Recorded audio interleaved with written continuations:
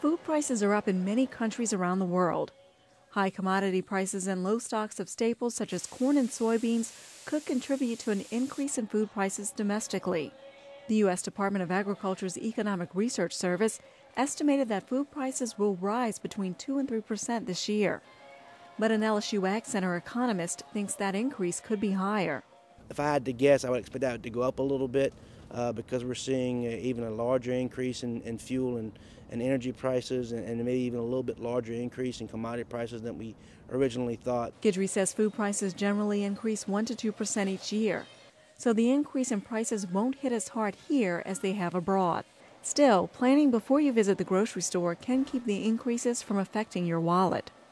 Plan your meals around seasonal fruits and vegetables, meats that are on sale. Make a list, and when you go to the store, stick with it. Tips such as shopping alone, not shopping when hungry, checking ads, and clipping coupons can keep your grocery bill down. To keep your overall food bill down, Tucker says stick to the grocery store instead of restaurants. You can save a lot more by cooking at home rather than eating out.